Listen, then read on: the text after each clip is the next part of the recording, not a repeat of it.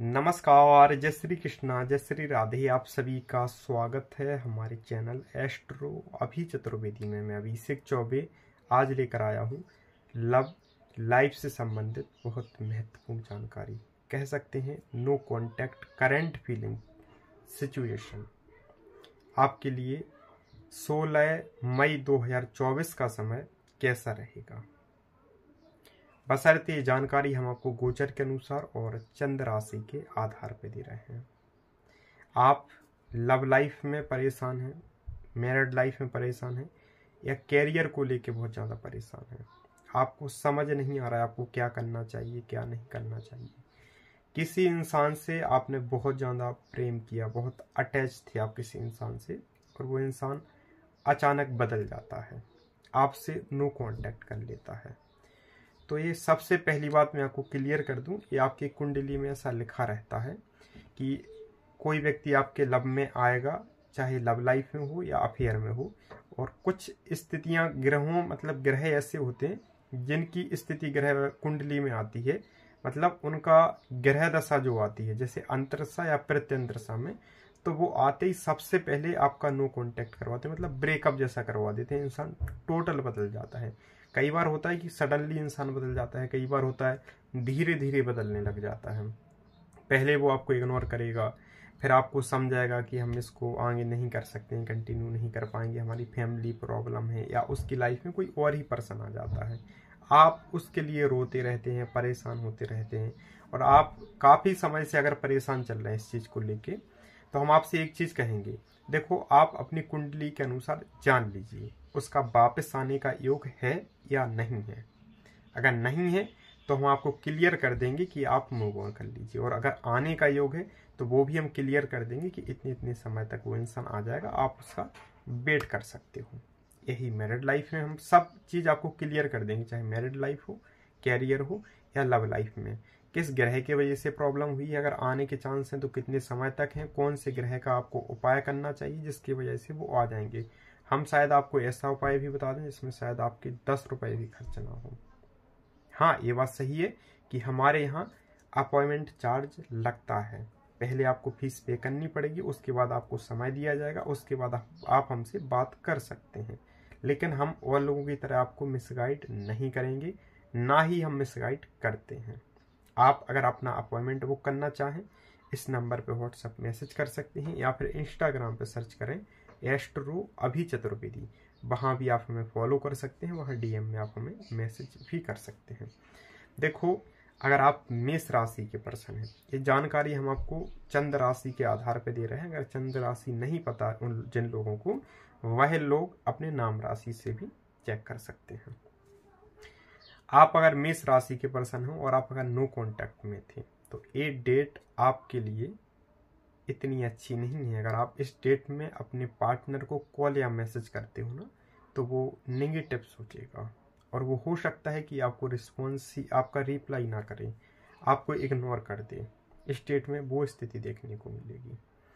Second number, अगर आप वृषभ राशि के पर्सन हैं तो इस डेट में आपके जो भी नो कांटेक्ट में पार्टनर है, वो आपसे बात ज़रूर करेंगे, अगर आप अपने साइड से उन्हें ट्राई कर रहे हैं।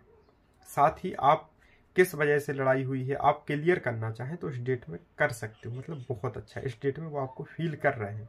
भले कम कर रहे हैं, लेकिन फीलिंग पॉजिटिव दिख रही है कुछ हद तक, ठीक है? बात कर लेता हूँ तीसरी राशि, मिथुन है। अगर आप नो कांटेक्ट में हैं, आपके पार्टनर की जो करंट फीलिंग है, इस डेट में काफ़ी पॉजिटिव देखने को मिल रही है। इस डेट में आपके लव पार्टनर आपके लिए परेशान रहेंगे, आपको काफ़ी मिस करेंगे वो। और अगर इन राशियों के हुए तो वो आपसे दूर रह नहीं पाएँगे हंड्रेड परसेंट आपको अनब्लॉक करेंगे और आपसे बात भी कर लेंगे। जैसे जो इंसान मेष राशि का हो जो आपसे नो कांटेक्ट किए हो, मेष राशि के, या फिर कोई मिथुन राशि मतलब आप ही के नाम राशि का कोई पर्सन हो जो नो कांटेक्ट में है, या फिर कोई तुला का हो, या कोई धनु का हो, या फिर कोई मीन राशि का। तो इन राशियों के जो नो कांटेक्ट में पार्टनर है, वो आपके अब कांटेक्ट में आ जाएँगे। बहुत अच्छा योग है। बात कर लेता हूँ, कर्क राशि। अगर आप नो कांटेक्ट में है पार्टनर की जो करंट फीलिंग है, वो टोटल नेगेटिव है। अगर इस डेट में आप अपने साइड से ट्राई कर रहे हो ना तो आपका अपमान हो सकता है, वहाँ से रिस्पॉन्स अच्छा ना मिले, आपको बुरी तरीके से मना कर दिया जाए कि अब हमें पास कॉल वगैरह मत करना। तो स्टेट में आपका जो भी लव पार्टनर नो कॉन्टेक्ट में, वो आपके लिए निगेटिव सोच रहा है, ठीक है? बात कर लेता हूँ पाँचवीं राशि, सिंह राशि। अगर आप नो कॉन्टेक्ट में है पार्टनर की जो करंट फीलिंग है, वो स्टेट में पॉजिटिव है। वो आपकी लाइफ में आने के लिए तैयार हैं। बसरते वो चाहते हैं कि आप उन्हें अपने साइड से ट्राई करें आप अगर अपने साइड से उन्हें कॉल या मैसेज करोगे तो वो स्टेट में ज़रूर आपके संपर्क में आ जाएँगे। बहुत अच्छा योग है और वो फीलिंग उनकी अगर चेक करें तो पॉजिटिव दिख रही है उस साइड से। बात कर लेता हूँ छहवीं राशि, कन्या है। अगर आप नो कॉन्टैक्ट में हैं, आपके पार्टनर की जो करंट फीलिंग है, वो स्टेट में मीडियम दिख रही है। ना तो नेगेटिव ना ही पॉजिटिव लेकिन हाँ ये बात कन्फर्म है कि वो पर्सन किसी और से अभी कनेक्ट है, जिस वजह से वो पूर्ण पॉजिटिव तो नहीं सोच रहे हैं। क्योंकि उनका मन वहाँ भी लगा है। वहाँ से जब वो फ्री होते हैं, उन्हें समय मिलता है तो थोड़ा सा आपके लिए भी सोच लेते हैं। आपकी पुराने जो समय बिताया है आपके साथ, उसको सोच लेते हैं, ठीक है? तो कह सकते हैं फीलिंग मीडियम है आपके लिए। बात कर लेता हूँ, सातवीं राशि तुला है। अगर आप नो कॉन्टैक्ट में है पार्टनर की जो करंट फीलिंग है, वो इस डेट में टोटल पॉजिटिव है। हंड्रेड परसेंट पॉजिटिव है। अगर आपकी कुंडली में दोष नहीं हुआ तो वो व्यक्ति की लाइफ में आने के लिए अब एग्री भी है। अगर इन राशियों के कोई पर्सन हुए तो वो अपने ही साइड से आपको बिना कॉल किए रह नहीं पाएँगे। जैसे कोई वृषभ राशि का पार्टनर रहा हो आपका, या कोई सिंह राशि का, या फिर कोई कन्या राशि का, या फिर कोई धनु राशि का, या फिर कोई मीन राशि का। तो हंड्रेड टेन परसेंट ये अपने ही साइड से आपको कॉल या मैसेज करेंगे। इतना अच्छा योग है।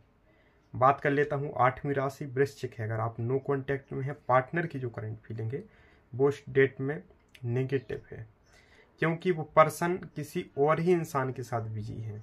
और अगर आप स्टेट में उन्हें कॉल या मैसेज करते हो तो जो पर्सन है, वो आपके प्रति उनको इतना भड़का के रखेगा कि वो व्यक्ति बहुत ज़्यादा नेगेटिव रहेंगे। और आप अगर कॉल या मैसेज करोगे ना तो वो नेगेटिव ही आपसे बात करेंगे। तो हम कह सकते हैं, अगर आप वृश्चिक राशि के हों और आप अपने नो कॉन्टेक्ट वाले पार्टनर से संपर्क करना चाहते हैं तो इस स्टेट में मत कीजिए आप, ओके? बात कर लेता हूँ नौमी राशि, धनु है। आप नो कांटेक्ट में हैं पार्टनर की जो करंट फीलिंग है, वो स्टेट में पॉजिटिव है। वो आपको काफ़ी मिस कर रहे हैं। बसरते आप अगर इस डेट में उनसे कनेक्ट होते हैं तो किसी पुरानी चीज़ को लेकर चर्चा मत करना। ये चीज़ आपको विशेष ध्यान देने की आवश्यकता है। बात कर लेता हूँ, दसवीं राशि मकर है। अगर आप नो कांटेक्ट में हैं पार्टनर की जो करंट फीलिंग है, वो स्टेट में पॉजिटिव है, वो आपको काफ़ी मिस कर रहे हैं और आपसे वो कनेक्ट होने के लिए एग्री हैं। अब मतलब पहले जो स्थिति खराब चल रही थी, अब वो नहीं है। स्टेट में वो आपसे बात कर लेंगे, अगर आप अपने साइड से ट्राई करोगे तब, ठीक है? बात कर लेता हूँ। ग्यारहवीं राशि मीन है सॉरी कुंभ राशि। अगर आप नो कांटेक्ट में हैं पार्टनर की जो करंट फीलिंग है, वो कुंभ राशि वालों के लिए ना तो निगेटिव है, ना ही पॉजिटिव है। मीडियम फीलिंग है स्टेट में। आप अगर अपने साइड से कॉल वगैरह करते हो तो नॉर्मल बात कर लेंगे। और आप सोचो कि वो आपको कॉल वगैरह करें तो वो अपने साइड से तो नहीं करेंगे, ठीक है? बात कर लेता हूँ बारहवीं राशि मीन है। अगर आप नो कॉन्टैक्ट में हैं पार्टनर की जो करंट फीलिंग है वो उस डेट में नेगेटिव है। अगर आप अपने साइड से कॉल या मैसेज करते हो तो उन्हें हो सकता है कि आपके कॉल या मैसेज से तनाव जैसा महसूस हो स्ट्रेस में ए, मतलब चिड़चिड़ापन सा रहे और वो आपसे गुस्सा में कुछ बोल भी दें तो स्टेट में अगर आप अपने साइड से कॉल या मैसेज करने के लिए सोच रहे हो तो बिल्कुल ना करें आप वो आपके लिए बेस्ट रहेगा, ठीक है? आज की ये वीडियो रही गोचर के अनुसार। आप अगर रियलिटी जानना चाहें तो पर्सनल संपर्क कर सकते हैं, कॉन्टैक्ट नंबर आपके सामने आज के लिए वर्ष इतना ही। जय श्री कृष्णा, जय श्री